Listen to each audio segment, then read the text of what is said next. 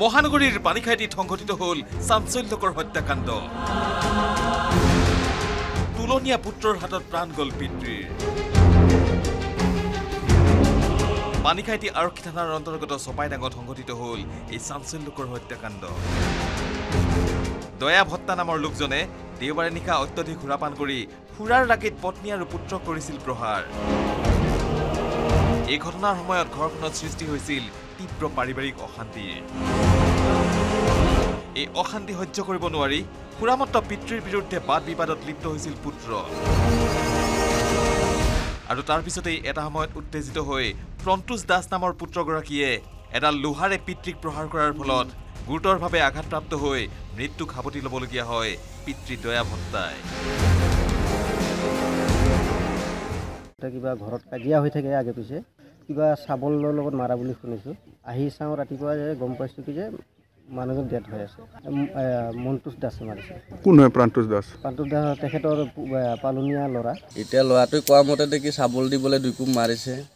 সেনেকা টাইপ শুনা পাইছোঁ। কিহৰ কাৰণে মাৰিছে? মাৰাটো কিহৰ কাৰণে মাৰিছে মানে মায়েকৰ লগত বোলে কিবা এটা কাজিয়া হৈছিল। মায়েকক বোলে কিবা গলত পুৰি দিছে। অঁ। পুৰাৰ পিছত ল'ৰাটোৱে চাই থাকিব নোৱাৰিল। সেনেকৈ খঙতে মাৰিম বুলি কওঁকৈ মাৰি তাৰমানে বেয়াকৈ মাৰি পালিল মৰিয়ে গ'ল। এই ঘটনাই চাঞ্চল্যৰ সৃষ্টি কৰাৰ পিছত পানীখাইটি আৰক্ষী ঘটনাস্থলীত উপস্থিত হৈ পুত্ৰ প্ৰন্তুষ দাসক গ্ৰেপ্তাৰ কৰে। এই ৰাতিপুৱা আঠটা বজাত এই চাবলেদি মাৰি দিছে ল'ৰাটোৱে। তো আগৰ তাৰ বেলেগ বাপক আছিল। বাপকটো ঢুকাৰ পিছত এই ল'ৰা ছোৱালীক এৰি কেনে ইয়াতে আহি কেনে এই বুঢ়াৰ লগত বিয়া হৈছিলে। বিয়া হোৱাৰ পিছত তাৰ এটা ছোৱালী হৈছিল। আজি এমাহমান আগত কুকুৰে কামুৰিছিল বোলে কুকুৰ কামুৰাৰ পিছত বে- বেছিকৈ সেয়া হৈ গ'ল। তাৰপিছত ঢুকাল ছোৱালীজনীও ছোৱালীটো ঢুকা আজি শ্ৰাদ্ধ যোৱা একমাহ হোৱাই নাই। অজয় বৰ্মনৰ report news eighteen Assam north east.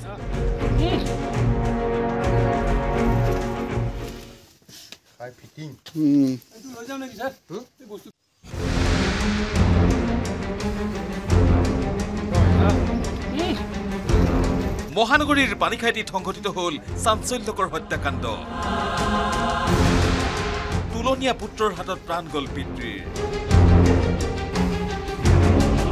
পানীখাইটি আৰক্ষী থানাৰ অন্তৰ্গত চপাইডাঙত সংঘটিত হ'ল এই চাঞ্চল্যকৰ হত্যাকাণ্ড। দয়া ভট্টা নামৰ লোকজনে দেওবাৰে নিশা অত্যধিক সুৰাপান কৰি সুৰাৰ ৰাগিত পত্নী আৰু পুত্ৰক কৰিছিল প্ৰহাৰ। এই ঘটনাৰ সময়ত ঘৰখনত সৃষ্টি হৈছিল তীব্ৰ পাৰিবাৰিক অশান্তিৰ এই অশান্তি সহ্য কৰিব নোৱাৰি সুৰামত্ত পিতৃৰ বিৰুদ্ধে বাদ বিবাদত লিপ্ত হৈছিল পুত্ৰ। আৰু তাৰ পিছতেই এটা সময়ত উত্তেজিত হৈ প্ৰন্তুষ দাস নামৰ পুত্ৰগৰাকীয়ে এডাল লোহাৰে পিতৃক প্ৰহাৰ কৰাৰ ফলত গুৰুতৰভাৱে আঘাতপ্ৰাপ্ত হৈ মৃত্যুক সাৱটি ল'বলগীয়া হয় পিতৃ দয়া ভট্টাই।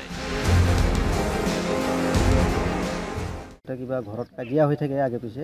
কিবা চাবলৰ লগত মাৰা বুলি শুনিছোঁ। আহি চাওঁ ৰাতিপুৱা যে গম পাইছোঁ কি যে মানুহজন ডেথ হৈ আছে। মন্তুষ দাসে মাৰিছে। কোন হয় প্ৰাণটোষ দাস? প্ৰান্তুষ দাস তেখেতৰ পালনীয়া ল'ৰা। এতিয়া ল'ৰাটোৱে কোৱা মতে দেখি চাবোল দিবলৈ দুই কোব মাৰিছে। সেনেকা টাইপ শুনা পাইছোঁ। কিহৰ কাৰণে মাৰিছে? মাৰাটো কিহৰ কাৰণে মাৰিছে মানে মায়েকৰ লগত বোলে কিবা এটা কাজিয়া হৈছিল। মায়েকক বোলে কিবা গলত পুৰি দিছে।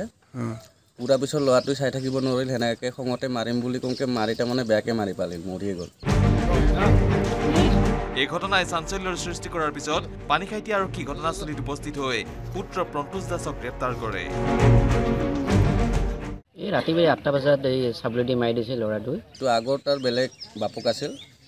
বাপকটো ঢুকাৰ পিছত এই ল'ৰা ছোৱালীক এৰি কেনে ইয়াতে আহি কেনে এই বুঢ়াৰ লগত বিয়া হৈছিলে। বিয়া হোৱাৰ পিছত তাৰ এটা ছোৱালী হৈছিল। আজি এমাহমান আগত কুকুৰে কামুৰিছিল বোলে কুকুৰ কামুৰাৰ পিছত বে- বেছিকৈ সেয়া হৈ গ'ল। তাৰপিছত ঢুকাল ছোৱালীজনীও ছোৱালীটো ঢুকা আজি শ্ৰাদ্ধ যোৱা একমাহ হোৱাই নাই। অজয় বৰ্মনৰ report news eighteen Assam north east.